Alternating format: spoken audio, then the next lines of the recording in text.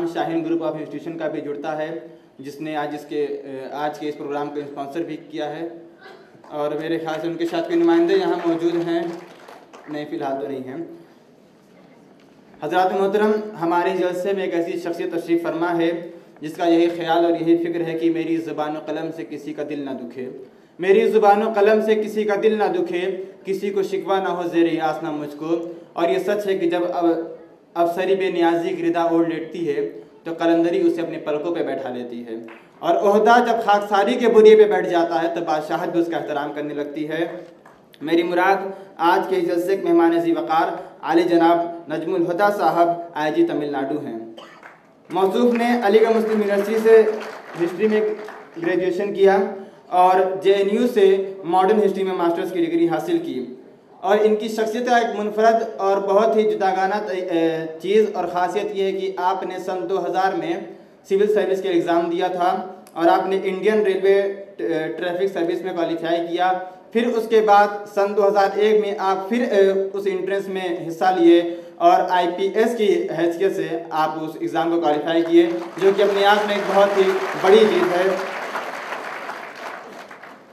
موصوف افسری کو قلندری کے دبیس پردوں میں چھپا لینے کا ہنر جانتے ہیں۔ ملک و ملت کے مسائل پہ وہ قابل نظر رکھنے والی شخصیت سے گزارش ہے کہ آپ کی تیز گڑگڑاہٹ والی تالیوں کے بیچ تشریف لائیں اور اپنے خیالات سے سامنے کی مقدر فرمائیں۔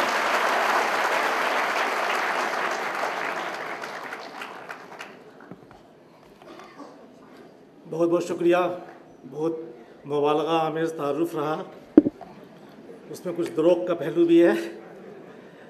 جناب بھائی چانسلر صاحب، جناب آصف فاروقی صاحب، جناب ساجد صاحب، ہمارے دوست جو یہاں پروفیسران ہیں پروکٹر ابوالکلام افروز عالم جمال بھائی تمام اساتذہ اکرام طلباء و طالبات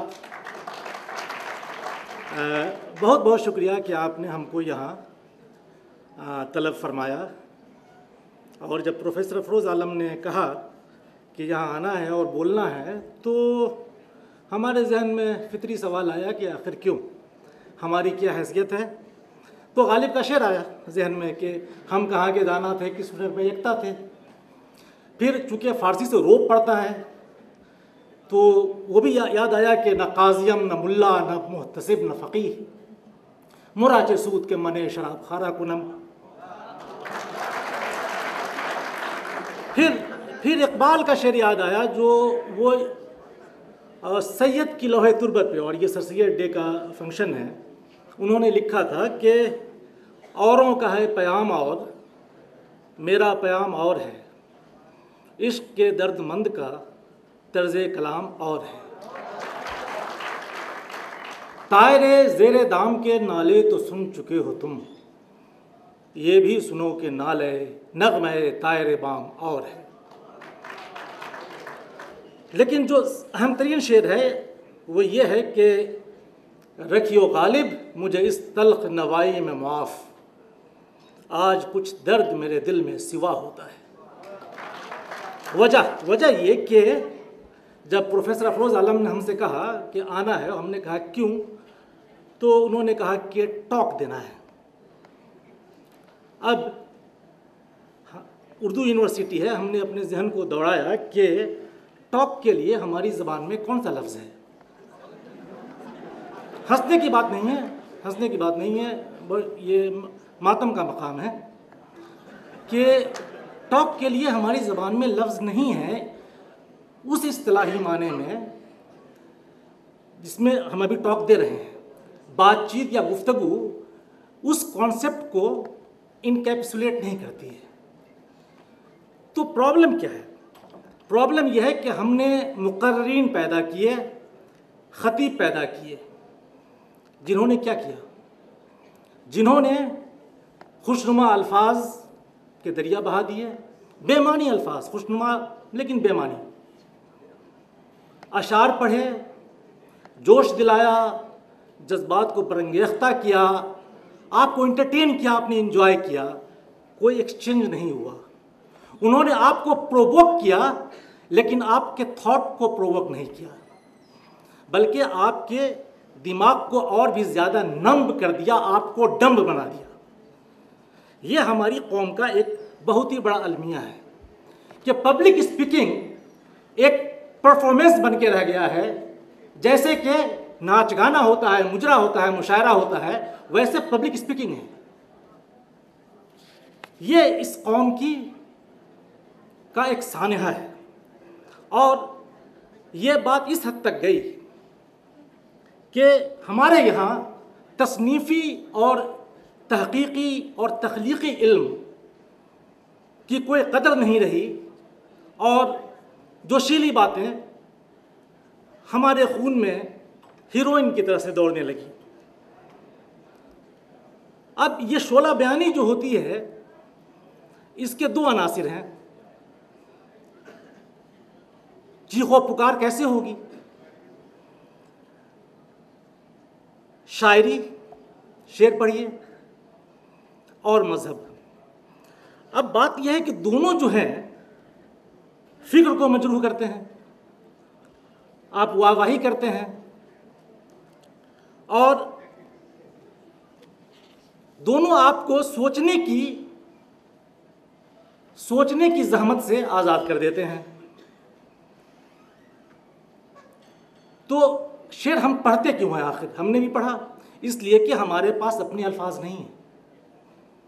ہمارے پاس اپنے الفاظ نہیں ہیں، اس لیے ہم اشعار کا سہارا لیتے ہیں۔ اور ہمارے پاس الفاظ کیوں نہیں ہیں؟ اس لیے کہ ہمارے پاس افکار نہیں ہیں۔ اور افکار کیوں نہیں ہیں؟ اس لیے کہ ہم نے کبھی غور و خوض نہیں کیا۔ ہمارے اندر تنقیدی علم نہیں ہے۔ جب خیالات ہوں گے، جب افکار ہوں گے تو الفاظ بھی پیدا ہوں گے۔ جیسے کہ جب پروڈکشن ہوگا تو پیسہ منی اپنے آپ پیدا ہو جائے گا۔ اب اس کی وجہ کیا ہے؟ افکار کیوں نہیں ہے ہمارے پاس؟ کیونکہ صدیوں سے ہماری فکر پہ قدغن لگا رہا۔ ہم کو سوچنے نہیں دیا گیا۔ ہم سے کہا گیا کہ تقلید کرو، نہیں تو بھٹک جاؤ گے۔ اب یہ ہے کہ تقلید اور تخلیق دونوں ایک ساتھ جمع نہیں ہو سکتے ہیں۔ تو شاعری میں بھی وہی رہا کہ فرسودہ مضامین کو نئے نئے الفاظ میں بیان کیجیے۔ مضامین کو کہتے تھے باندھنا۔ مضامین باندھتے تھے۔ اس میں کبھی کوئی نئی بات پیدا نہیں ہوتی تھی۔ کتابوں کے انبار لگ گئے۔ جو کتاب لکھی گئی نویں صدی میں، اس پہ تشریح شرح لکھی گئی۔ پھر شرح کی شرح لکھی گئی۔ پھر اس کی شرح، پھر شرح در شرح، پھر درا شرح۔ شرح لکھتے رہے ہم۔ کتابوں کا انبار لگ گیا۔ لیکن نالج میں رتی برابر اضافہ نہیں ہوا۔ یہی وجہ ہے کہ اردو میں اردو میں علم نہیں ہے۔ معاف کیجیے گا، اردو میں علم نہیں ہے اور یہ یونیورسٹی بنائی ہی اس لیے گئی ہے کہ اردو میں علم پیدا کیا جائے۔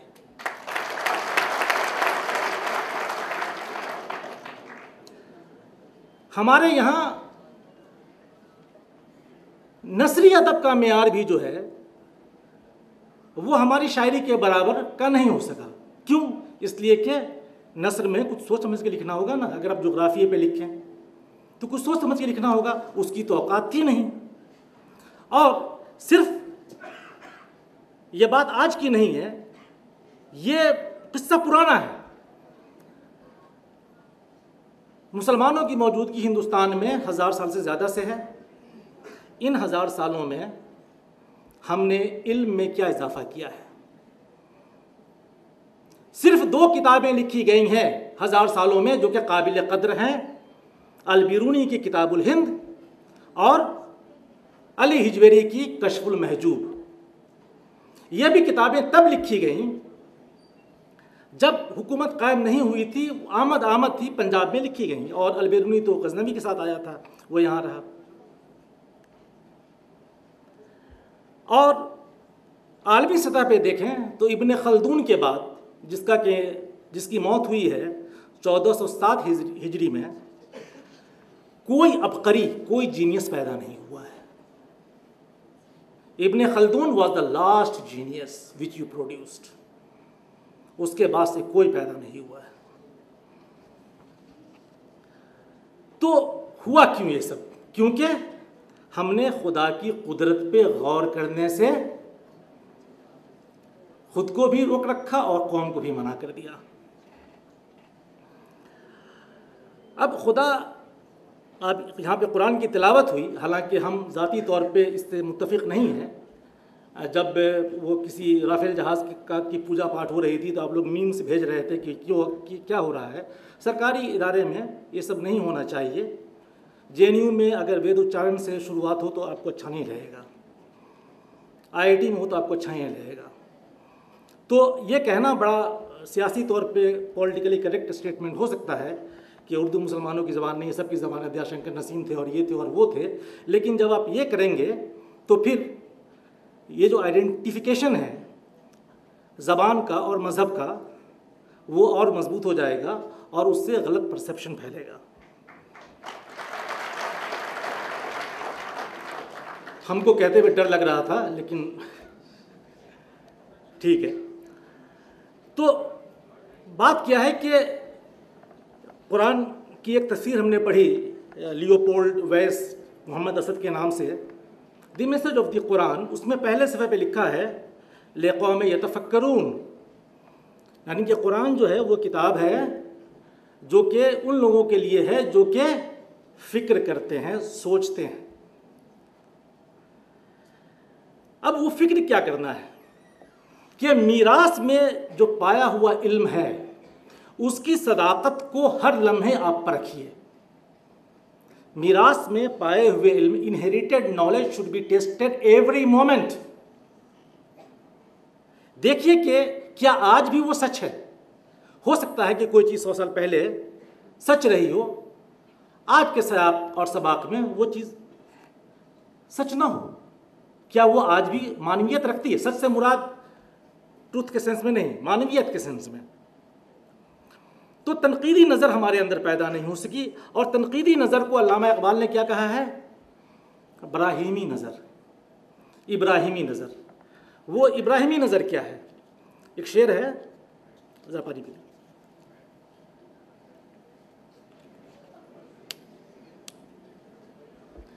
وہ ابراہیمی نظر ہے۔ براہیمی نظر پیدا بڑی مشکل سے ہوتی ہے۔ حوث چھپ چھپ کر بنا لیتی ہے سینے میں تصویریں۔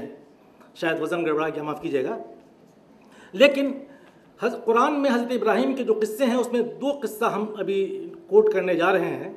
پہلا قصہ سورہ انعام میں، آیت نمبر سوری، سورہ نمبر چھ، اور آیات ہیں چھہتر سے لے کے اناسی تک کی۔ اس میں یہ قصہ بیان کیا گیا ہے کہ حضرت ابراہیم نے ستاروں کو دیکھا اور اس سے کہا کہ شاید یہی خدا ہو۔ پھر ستارے غروب ہوئے، چاند طلوع ہوا۔ پھر کہا کہ پھر چاند بھی غروب ہو گیا۔ پھر سورج طلوع ہوا اور سورج بھی غروب ہوا۔ حضرت ابراہیم نے تینوں کے بارے میں یہ کہا کہ جو طلوع ہو اور وہ غروب ہو، جس کی ابتدا ہو اور انتہا ہو، وہ خالق اور فاتر نہیں ہو سکتا۔ میرا خالق، میرا خدا کوئی اور ہے جو کہ ہم کو نظر نہیں آ رہا ہے۔ یہ جو ہے، یہ کیا ہے؟ اس کو کہتے ہیں منطقی دلائل۔ Ratiocination reasoning induction deduction analogy syllogism آپ نے عقل سے، عقل کے استعمال سے ریزننگ سے آپ ایمان کے مرتبے تک پہنچے۔ دوسرا قصہ ہے سورہ بقرہ میں۔ آیت سورہ نمبر دو، آیت نمبر دو ساٹھ، وہ کہ حضرت ابراہیم نے خدا سے کہا کہ جو بیست ہوگی یعنی کہ جب مردوں کو دوبارہ زندہ کیا جائے گا، اس کی کیا حقیقت ہم دیکھنا چاہتے ہیں؟ تو خدا نے کہا، تم کو یقین نہیں ہے کرنے یقین ہے۔ لیکن پھر بھی ہم دیکھنا چاہتے ہیں تاکہ میرے دل کو اطمینان ہو جائے۔ تو خدا نے کہا کہ ٹھیک ہے، تم چڑیا لو اور چڑیا کو پہاڑیوں پہ ڈال دو، پھر بلاؤ، وہ چڑیا آ جائیں گی۔ تو تفسیر اور ترجمے میں ذرا فرق ہے، کچھ لوگ کہتے ہیں کہ چڑیا کو کاٹ کے ڈال دیا، کچھ لوگ کہتے ہیں کہ چڑیا کو ٹرین کر کے ڈال دیا اور وہ چڑیا آ گئی۔ جو بھی ہے، وہ چڑیا۔ یہاں پہ کیا ہے؟ حضرت ابراہیم ریزننگ سے ایمان تک پہنچ چکے تھے۔ پھر بھی ان کو پریکٹیکل ڈیمانسٹریشن چاہیے تھا ویریفیکیشن چاہیے تھا۔ اور خدا نے اس بات کا برا نہیں مانا۔ خدا نے بلکہ راستہ بھی تجویز کیا ہے کیسے کرنا ہے۔ اور انہوں نے وہ پریکٹیکلی ڈیمونسٹریٹ کر کے دیکھا۔ اسی کو کہتے ہیں ایمان بالغیب۔ غیب پر ایمان کا مطلب کیا ہے؟ کہ آپ جو چیزیں دیکھ رہے ہیں، جو فنومینا ہے آپ کے آگے آپ اس پہ غور کریں، سوچیں اور تھیوری ڈرائیو کریں۔ اور یہ جان جائیں کہ یہ تو اتنا نظر آ رہا ہے اور اس کے پس پشت کچھ اور بھی ہے۔ وہی ہے غیب۔ ایمان بالغیب اسی کو کہتے ہیں۔ ایبسٹریکشن پہ ایمان۔ اور ایبسٹریکشن کہاں سے آتا ہے؟ دماغ میں ڈیٹا پروسیس کرنے سے۔ رائٹ ایبسٹریکشن آتا ہے دماغ میں ڈیٹا پروسیس کرنے سے۔ سائنس میں بھی یہی ہوتا ہے۔ آپ گریویٹی دیکھتے نہیں ہیں۔ اینسٹائن ریلیٹیوٹی سمجھنا کوئی دیکھتا ہے کیا؟ مینڈلیف ایک سائنٹسٹ تھا پیریوڈک ٹیبل والا۔ اس نے اس کو وہ چیزیں دریافت نہیں ہوئی تھیں، کھوجی نہیں گئی تھیں، لیکن معلوم تھا کہ یہاں پر وہ چیز فٹ ہوگی۔ اس نے وہ جگہ خالی چھوڑ دی۔ یہ ہے بالغیب کہ آپ نے عقل سے سوچ کے ریزننگ کر کے پتہ لگا لیا کہ ہاں یہ چیز ہے۔ یہی ہے ایمان بالغیب۔ رین دکارتے ایک بہت ہی مشہور فلسفی تھا، جس کا کہ آپ لوگ بھی اکثر کہتے ہوں گے I think therefore I am کوجیٹو ایگوسم مطلب کیا ہے اس کا بھائی؟ ایک مطلب اس کا صرف یہ ہے کہ جو سوچا نہیں، وہ جیا نہیں۔ زندگی جو ہے نام ہی ہے فکر کا۔ اگر آپ نے فکر نہیں کیا اور ان لمحات میں، جن لمحات میں آپ فکر نہیں کر رہے ہیں، ان لمحات میں آپ مردہ ہیں۔ اور اگر آپ نے زندگی پر فکر نہیں کیا ریزننگ نہیں تھی، نہیں کی، تو آپ جیے ہی نہیں۔ ایمان کی بنیاد فکر پہ ہے۔ رٹے رٹائے فارمولے کو ریپیٹ کرنے پہ نہیں ہے۔ اور عمل کی بنیاد کس پہ ہے؟ ایمان پہ۔ تو یہاں پہ ثانیہ ہمارے لیے یہ ہوا کہ ایمان جو ہے وہ فکر کو مہمیز کرنے والی چیز ہے۔ مہمیز گھوڑے کو لگاتے ہیں۔ It is something which would as per your thought لیکن الٹا ہوا۔ ایمان کو بنا دیا گیا ہمارے لیے۔ فکر پہ تالے کے طور پہ لگا دیا گیا۔ اب فکر کیا ہے؟ فکر تو زندگی کی روح ہے روح ہے۔ فکر کیا ہے؟ روح ہے۔ اور فکر کرنا چھوڑا آپ نے، روح نکلی، جسم لگا سڑنے، زوال آیا۔ اب جب زوال کے اسباب پہ غور کرنے کی بات آئی، تو اس میں جو سب سے بڑا نام ہے وہ وہی ہے اور واحد نام ایک طرح سے کہہ لیجیے، جس کے یوم پیدائش کے سیلیبریشن کے لیے ہم یہاں جمع ہوئے ہیں۔ سر سید احمد خان، اب یہ ہے کہ اگر وہ صرف ایک ادارے کے بانی تھے، تو اس ادارے میں یہ کیوں سیلیبریٹ ہو رہا ہے؟ یہ تو صحیح صحیح بات یہ ہے، معاف کیجیے گا، یہ تو ان کی تحریک کا حصہ بھی نہیں تو سرکار نے قائم کیا ہے، آپ کی قوم نے قائم نہیں کیا ہے یہ۔ آپ نے چندہ وندہ نہیں کیا، آپ اس کو فائننس نہیں کر رہے ہیں۔ یہ تو وہ علی گڑھ تحریک کیا چیز تھی؟ خیر جو بھی چیز تھی۔ وہ بیسیکلی کالج نہیں بنا رہے تھے، اس لیے کہ کچھ لوگ آئیں اور پڑھ لکھ لیں اور روزگار کر لیں، روزگار پالیں۔ اس لیے نہیں۔ سر سید کی اصل حیثیت جو ہے وہ مسلح اور مفکر کی ہے۔ اصلاح کون کرتا ہے؟ اصلاح وہ کرتا ہے جس کو کہ فکر ہو۔ جس کو فکر نہیں ہے آپ کی، وہ اصلاح کیوں کرے گا بھائی؟ ان کو فکر تھی اور وہ فکر کرتے بھی تھے دونوں معنوں میں۔ کنسرن کے معنی میں بھی اور تھاٹ کے معنی میں بھی۔ اصلاح کس چیز کی؟ تہذیب کی، تہذیب الاخلاق۔ اخلاق کی۔ وہ اخلاق کی اصلاح کرنا چاہتے تھے کہ جو برائیاں نیکی کی طور پر ہمارے درمیان مروج ہیں، اس نام پر کہ یہ ہماری روایت ہے۔ روایت کے نام پہ تو کچھ بھی کر لیجیے آپ۔ ہم چاہیے تو ہم کو بولنے نہیں دیجیے یعنی ٹوپی پہنو، یہ ہماری روایت ہے، پتہ نہیں کہاں کی روایت ہے۔ کچھ بھی کر لیجیے آپ روایت کے نام پہ۔ یا پھر یہ دین ہے۔ تو یہ انویسٹیگیٹ کرنا تھا کہ واقعی یہ دین ہے یا یوں ہی ہے۔ اس کے لیے انہوں نے جو میتھڈولوجی ڈیوائز کی اور اس کو جن الفاظ میں بیان کیا، اس سے زیادہ ایلیگنٹ نفیس الفاظ ممکن ہی نہیں ہیں۔ کیا یہاں بھی بار بار کہا گیا کہ قرآن خدا کا قول ہے اور فطرت خدا کا فعل ہے۔ یہ ممکن ہی نہیں ہے کہ خدا کے قول و فعل میں تفاوت ہو۔ اور اگر ہم کو کوئی تضاد دکھتا ہے دونوں میں، تو اس کا مطلب یہ ہے کہ یا تو ہم نے قرآن کو نہیں سمجھا، یا پھر دنیا کو نہیں سمجھا۔ حقیقت تو اس سے بھی زیادہ خراب تھی کہ نہ ہم نے قرآن کو سمجھا، نہ دنیا کو سمجھا۔ قرآن نہیں پڑھنے دیا گیا، کہا گیا کہ پڑھو گے تو گمراہ ہو جاؤ گے، وہ دوسری زبان میں ہیں، ترجمہ بھی کیا گیا تو جیسے ہماری جو تعلیم ہوئی، ہم کو ناظرہ کروایا گیا۔ ناظرہ کا مطلب یہ ہے کہ بس الفاظ پڑھ لیجیے، سمجھنے کی ضرورت نہیں ہے۔ تو دینی اور دنیاوی علم میں یہ جھوٹا تضاد پیدا کیا پیدا کیا گیا اور اس حقیقت کو فراموش کیا گیا کہ دین کچھ نہیں ہے سوائے اس کی کہ دنیا میں رہنے کا طریقہ ہے۔ ہم نے دونوں کو ترک کیا، دونوں سے گئے۔ حالانکہ ہم شعر پڑھنے قائل نہیں ہیں، لیکن رجسٹ نہیں کر پا رہے ہیں کہ اے باد صبا کملی والے سے جا کہیو پیغام میرا۔ قبضے سے بیچاری امت کے۔ دنیا بھی گئی اور دین بھی گیا۔ یہی حال ہونا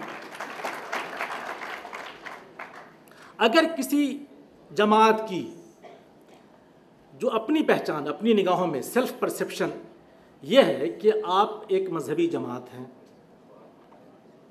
آپ کی اجتماعیت کی بنیاد مذہب پہ ہے، تو آپ کے اچھے، برے، نیک و بد اور عروج و زوال کے اسباب بھی وہیں تلاش کرنے ہوں گے مذہب میں۔ تو اس کو آپ کھوجیے اپنی تھیولوجی میں۔ تھیولوجی کیا چیز ہوتی ہے؟ تھیولوجی ہوتی ہے کہ آپ نے مذہب کو کیسے سمجھا۔ اور اس پہ کیسے عمل کیا؟ فہم اور عمل۔ سمجھا تو کیا صرف لفظی معنی تک گئے یا اس کی تہ میں اترے؟ تو sir Syed actually basically he was a religious reformer religious thinker وہ تھیولوجی کو ریفارم کرنا چاہ رہے تھے۔ اور جو کتابیں ہیں ان کی وہ دیکھیے۔ ابھی ذکر ہوا خطبات احمدیہ کا۔ خطبات احمدیہ کیا ہے؟ وہ کتاب جو کہ ولیم میور کی لائف آف محمد کے جواب میں لکھی گئی۔ یہ سیرت کی کتاب ہے اور اس میں نہ صرف ان رقیق الزامات کی تردید کی گئی جو کہ اس کتاب میں لگائے گئے تھے اور یقیناً وہ ہماری اپنی تاریخی کتابوں سے لیے گئے تھے۔ بلکہ رسول اللہ کی زندگی کی اصلی معنویت کو دکھایا گیا کہ اس دور میں رسول کی زندگی کی معنویت کیا ہے۔ اور بڑی کتاب تفسیر القرآن، قرآن کی تفسیر۔ ایک اور کتاب ہے تبین الکلام۔ یہ انجیل مقدس کی تفسیر ہے۔ کتنے لوگوں، لوگ انجیل پڑھتے ہیں اور دوسرے مذہب کی کتاب پہ کو پڑھیں اور سوچیں، اس پہ تفسیر لکھیں۔ کیا سر سید کے بعد بھی یہ ممکن ہوا ہے ہماری قوم میں؟ نہیں۔ اب یہ کتابیں ہیں کہاں؟ آپ میں سے کسی نے یہ کتابیں دیکھی ہیں، پڑھی ہیں؟ کہاں گئیں یہ کتابیں؟ ان کتابوں کو دفن کر دیا گیا۔ ان کتابوں کو دفن کر دیا گیا کیونکہ ان میں جو فکر کو تحریک دینے والی بات تھی، وہ تھی۔ اور آپ کو چاہیے تھا صرف روزگار، روزی روٹی، آڈیٹوریم میں آئیں شعر پڑھیں، تالیاں بجائیں، ہو گیا۔ تو علی گڑھ میں بھی، علی گڑھ میں یہ کتابیں چھپنی چاہیے تھیں اور علی گڑھ میں تو فری بٹنی چاہیے تھیں۔ ان کتابوں کو دفن کر دیا گیا۔ یہ مانا گیا کہ سر سید نے غلط کیا تھا۔ یہی مانا کہ سر سید غلط تھے اس معاملے بالکل غلط تھے۔ اور ہم ان کو سیلیبریٹ کریں گے صرف ایک مستری کے طور پہ جس نے کہ ہم کو یہ کالج بنا کے دیا۔ مستری سے زیادہ سر سید کی حیثیت ہمارے لیے نہیں ہے۔ لیکن سر سید اصل میں تو تھے۔ ایک اور چیز۔ ابھی پچھلے سال ہم انگلینڈ گئے تھے۔ تو ہم کو یہ لگا کہ سر سید وہ واحد مفکر ہے جس نے مغرب کی، ویسٹ کی صحیح تصویر پیش کی ہمارے آگے۔ اور یہ کہا ہم سے کہ وہ لوگ ہم سے بہتر ہیں۔ They are morally superior believe me they are morally superior science technology economy industry وغیرہ تو بعد میں آتا ہے۔ دے آر مورلی سپیریئر اور مورلی سپیریئر کیوں ہیں؟ اس لیے کہ آپ کی اصطلاح میں بھلے ہی وہ حق نہ ہو، لیکن وہ وہ بھی جویائے حق ہیں اور وہ بھی سچائی، ایمانداری اور حق کی قدر کرتے اس پہ قائم رہتے ہیں۔ حکومت، بادشاہی، علم اشیاء کی جہانگیری، یہ سب کیا ہیں؟ فقط ایک نقطۂ ایما کی تفسیریں۔ ہر چیز وہیں سے آتی ہے۔ اس کے برعکس جو دوسری شکل جو کہ پاپولر رہی ہمارے لیے ویسٹ کے بارے میں، کہ وہاں جو ہے صرف جنسی بے راہ روی ہے، شراب خاری ہے، قمار بازی ہے کوئی مورالٹی نہیں ہے، مادہ پرستی ہے۔ اور اقبال کا شعر دیکھیے، تمہاری تہذیب اپنے خنجر سے آپ ہی خودکشی کرے گی، جو شاخ نازک پہ آشیانہ بنے گا۔ ناپائیدار ہوگا۔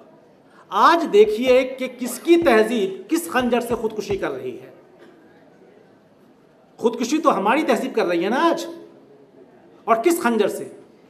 اپنے مذہب کے خنجر سے ہم خودکشی کر رہے ہیں۔ دین کو بدنام کیا، قوم کو بدنام کیا، ہر چیز کو بدنام کیا اور دنیا میں کہیں منہ دکھانے کے لائق نہیں رہے۔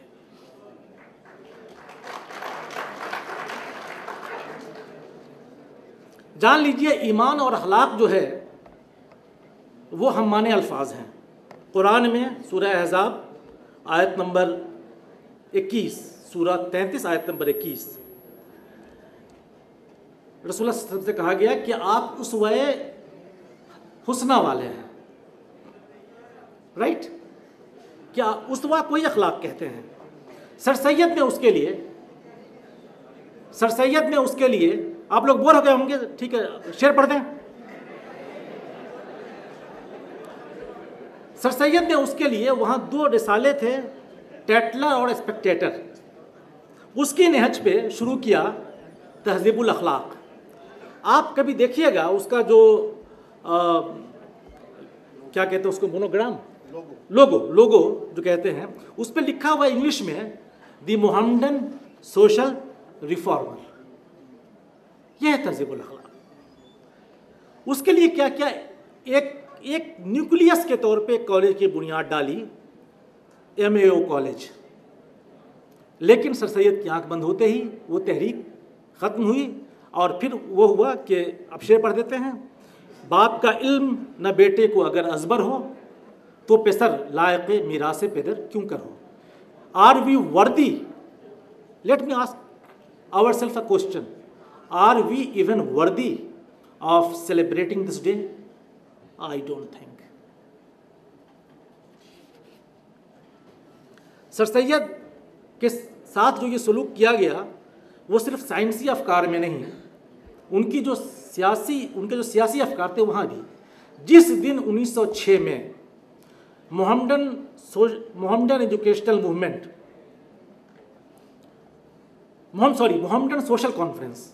Educational conference sir? Mohammedan educational conference.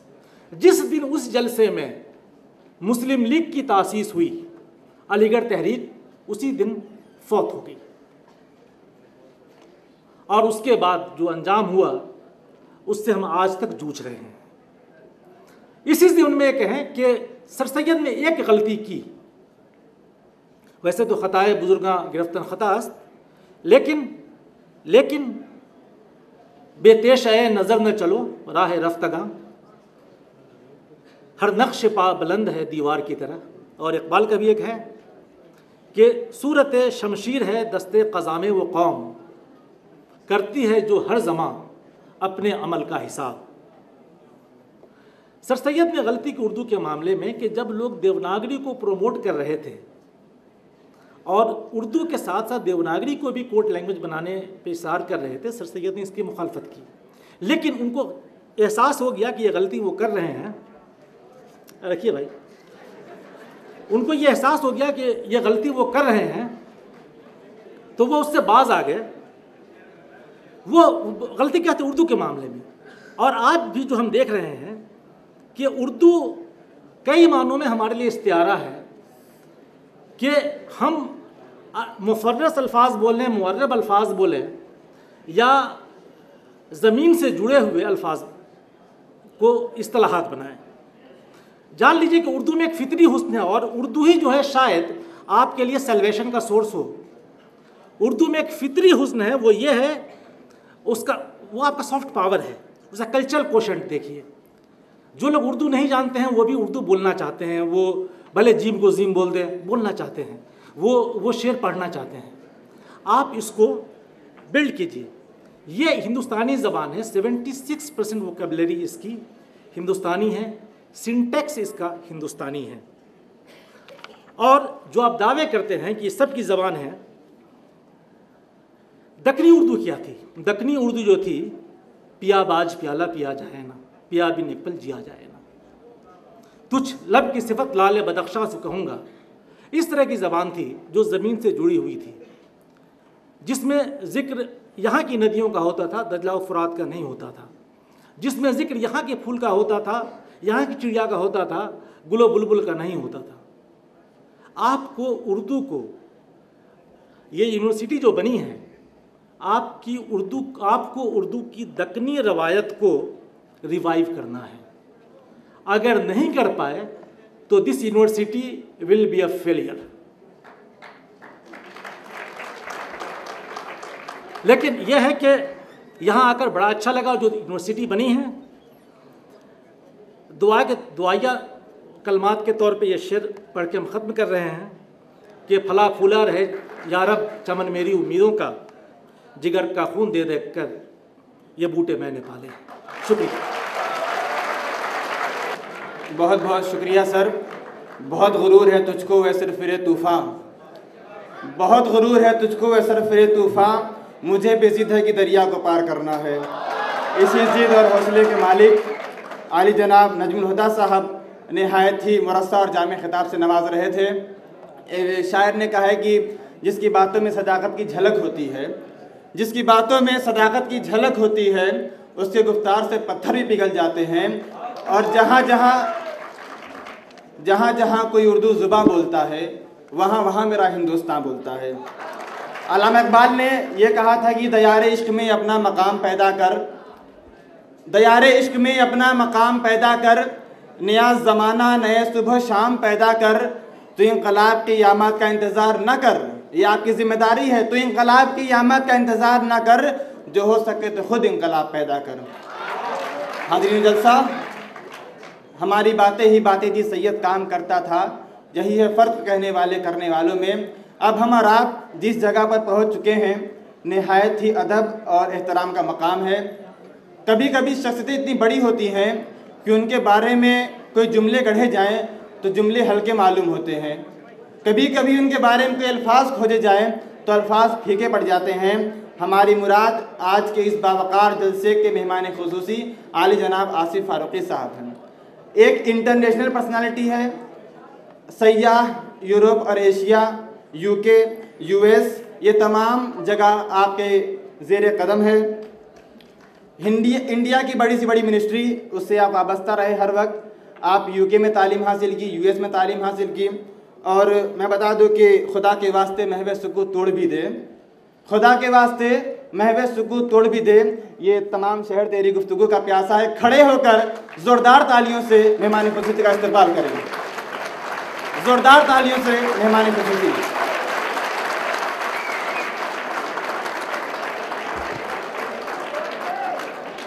علی جناب شیخ الجامعہ اس یونیورسٹی کے جناب اسلم پرویز صاحب، ساجد بھائی، خدا صاحب، اس اسٹیج پہ بیٹھے ہوئے معزز مہمان اور سامعین۔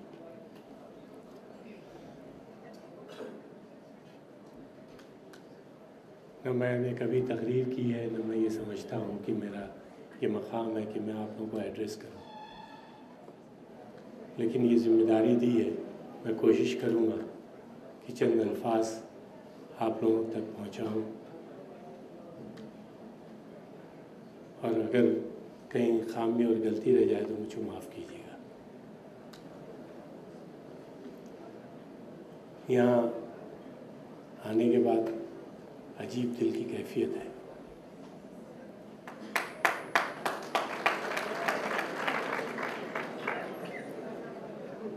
ایک شعر میرے ذہن میں اس وقت آ رہا ہے۔ سکون دل کے لیے، سکون دل کے لیے کچھ تو اہتمام کروں۔ ذرا نظر جو ملے تو انہیں سلام کروں۔ مجھے تو ہوش نہیں، آپ ہی مشورہ دیجیے۔ کہاں سے چھیڑوں فسانا کہاں تمام کروں؟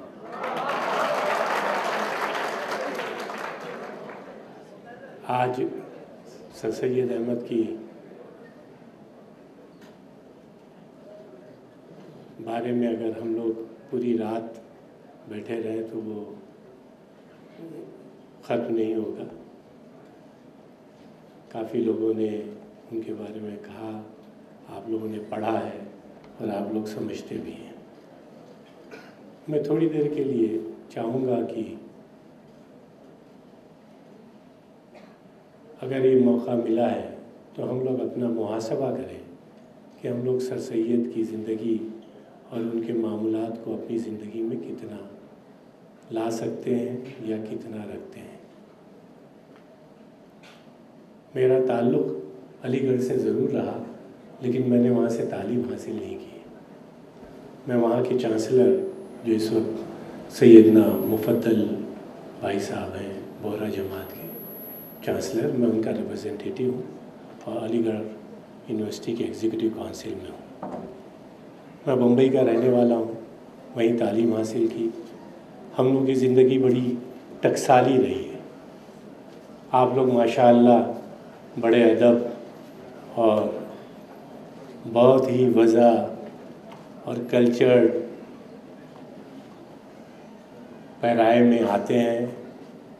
ماشاء اللہ اس جیسے استادوں کی صحبت میں رہے ہیں کافی حاصل ہوا ہوگا۔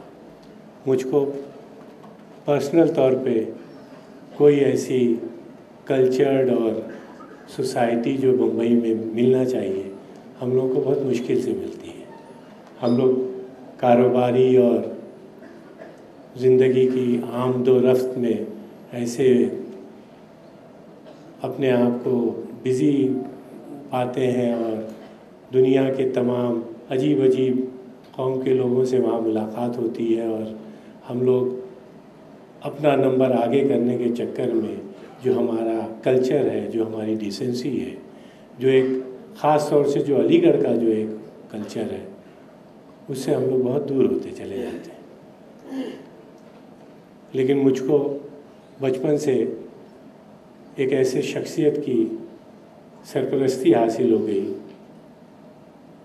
اور مجھ کو لگتا ہے کہ ان کا کافی اثر میری ذاتیات پہ پہنچا اور اس اس اسٹیج سے صرف اس لیے کہ شاید کہ اتر جائے آپ لوگوں کے دل میں بھی بات۔ میں اس شخص کا نام لوں گا کہ یہ کتنا، کتنی امپورٹنٹ بات ہے، کتنی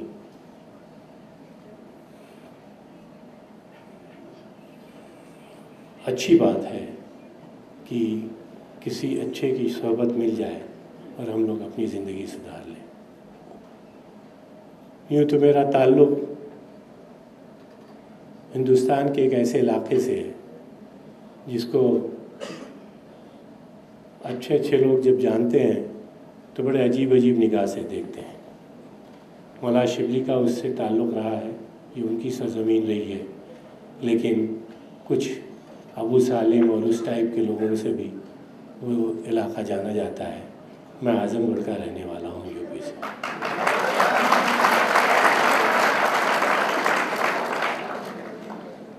لیکن بچپن سے مجھ کو یوسف خان دلیپ کمار صاحب کی صحبت کا اثر رہا، میں ان کے ساتھ میں رہا۔ اس کی وجہ سے مجھ کو دنیا میں گھومنے کا موقع ملا۔ یوں تو میری خاندان جو ہے، میرے والد شاہ وسیع اللہ صاحب سے بیت تھے۔ فلمی اور اس قسم کی زندگی کا کوئی معنی بھی نہیں تھا ہم لوگوں کی زندگی میں۔ لیکن اتفاق سے اسکول کے زمانے میں دلیپ کمار سے ملاقات ہو گئی۔ اور اس شفقت اور محبت سے انہوں نے مجھ کو اپنے گھر پہ بلایا کہ میں ان کے گھر چلا گیا۔ اور برجستہ میں نے ان سے دو ایک ملاقات کے بعد انہوں نے مجھ سے کہا کہ میں تم کو بلاتا ہوں تو تم آتے کیوں نہیں ہو؟ تو میرے منہ سے نکلا کہ میرے گھر میں فلمی لوگوں سے ملنے کے لیے منع کیا گیا ہے۔ اور شاید یہ بات ان کو بڑی عجیب لگی ہوگی۔ اور وہ دور تھا نائنٹین ایٹی فور سے لے کے آج تک۔ میرا بڑا اچھا ساتھ رہا۔ اور باخدا جانیے کہ ان کی جو فلمی دنیا ہے، اس سے وہ بہت ہی الگ شخصیت رہے۔ اور اسی شخصیت کا اثر میری زندگی میں آیا۔ انہوں نے ہی مجھ کو سیدنا صاحب سے ملاقات کرائی۔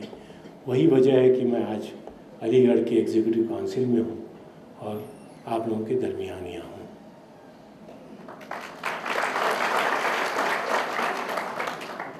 اگر آپ لوگ سر سید کی زندگی کو دیکھیں، بڑی لہیم شہیم شخصیت ماشاء اللہ بڑی امپریسو شخصیت۔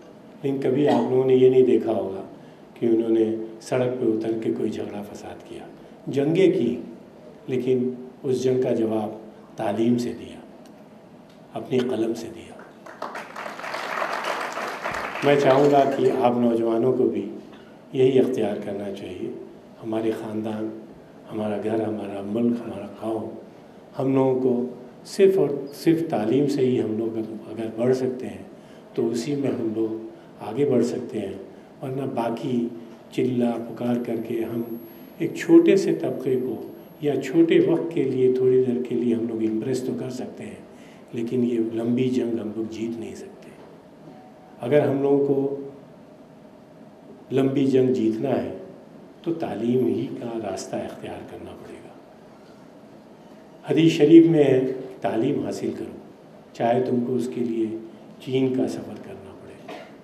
قرآن شریف کی پہلی آیت جو نازل ہوئی اقراب اس میں یعنی کہ پڑھو۔ اور اگر آج ہم لوگ اپنے آپ کو دیکھیں، اپنی قوم کو دیکھیں، تو تعلیم میں ہم لوگ سب سے پیچھے ہیں۔ ابھی تھوڑی دیر پہلے خدا صاحب نے ایک ڈیٹا دیا ایجوکیشن کا، تو اس میں یہ محسوس ہوا کہ ہم لوگ تعلیم سے بہت پیچھے ہیں۔ میں زبان کے معاملے میں ایموشنل نہیں ہوں۔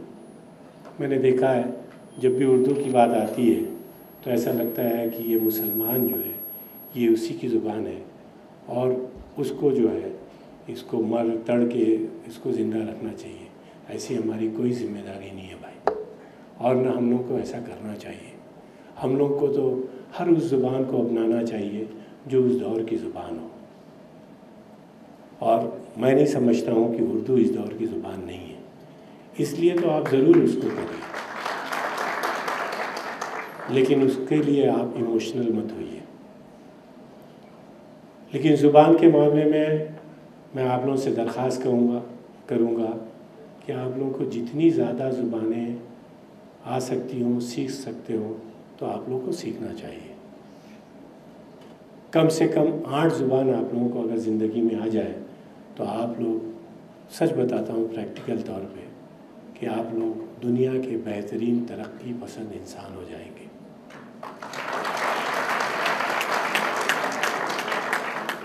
آپ لوگ جیسے ہی یہاں سے پڑھ کے نکلیں گے گریجویٹ ہوں گے پوسٹ گریجویٹ ہوں گے، جب اگلی زندگی میں آپ آئیں گے تو کہیں آپ کو ڈگری لکھنے اور اس میں تو کام آ جائے گی، لیکن اس کے بعد آپ کو اس ڈگری کی کوئی ضرورت نہیں ہوگی۔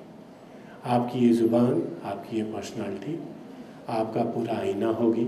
وہی آپ کو زندگی میں ترقی دلائے گی۔ میں کہیں بھی جاتا ہوں اب تو مجھ سے کوئی بھی میری ڈگری نہیں پوچھتا ہے۔ میری زبان اگر میں وہاں چین جاؤں تو چائنیز بول دوں اور یورپ جاؤں تو انگریزی بول دوں، عرب جاؤں تو عربی بول دوں، تو وہ لوگ بہت زیادہ امپریس ہو جاتے ہیں۔ اور بحیثیت مسلم، میں آپ لوگوں کو فیوچر کے لیے بتا دوں کہ اگر آپ لوگ ایک زبان عربی سیکھ لیں تو بہت زیادہ ترقی کریں گے۔ عرب ورلڈ میں اس کی بڑی اہمیت ہے۔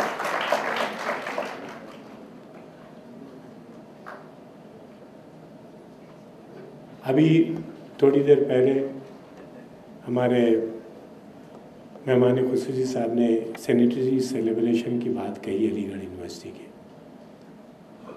میں پچھلے دنوں لنڈن میں تھا، سیدنا صاحب سے ملاقات ہوئی۔ اور ان کے توسط سے شیخ محمد دبئی کے جو ہیں، ان کو علی گڑھ میں لانے کی کوشش جاری ہے۔ میں آپ لوگوں سے بھی استدا کروں گا کہ اگر اگر ایسا کوئی موقع ہے تو آپ لوگ بھی وہاں تشریف لائیے گا۔ ایک بامقصد وہاں پہ ایک ایونٹ کیا جائے گا۔ اور اس ایونٹ کو علی گڑھ موومنٹ ایجوکیشنل موومنٹ ہم لوگوں کو یہیں نہیں ختم کرنا چاہیے۔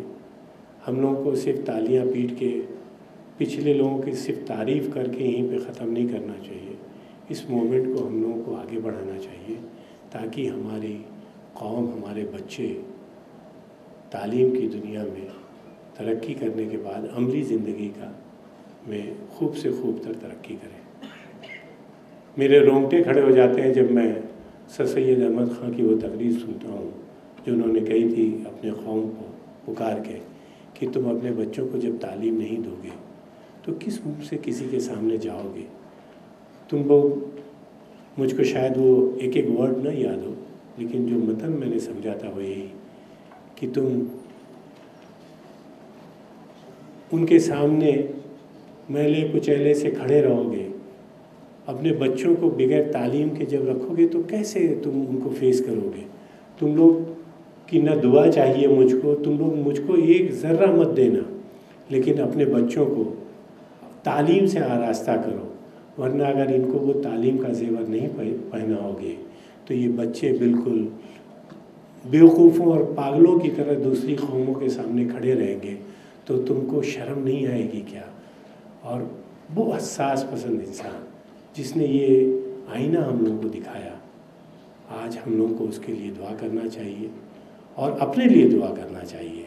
ہمارے آنے، آگے آنے والی نسلوں کے لیے دعا کرنا چاہیے کہ اللہ ہم لوگوں کو اس تعلیم سے آراستہ کر دے جس میں ہم کو نہ صرف دین، دنیا اور آخرت، سارا ہم لوگوں کو ترقی اور اس کے سارے فائدے حاصل ہوں۔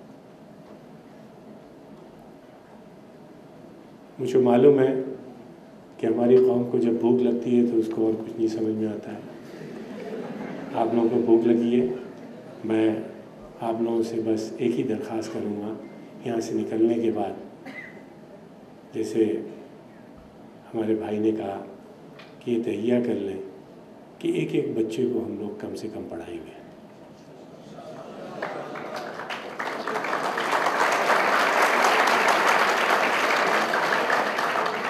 اگر ایک سال، دو سال، دس سال میں نہیں، تو کم سے کم زندگی میں اپنی اولاد کے علاوہ قوم کے ایک بچوں کو ضرور پڑھائیں گے۔ ایسا آپ لوگ کہیے بہت بہت شکریہ۔ اللہ حافظ۔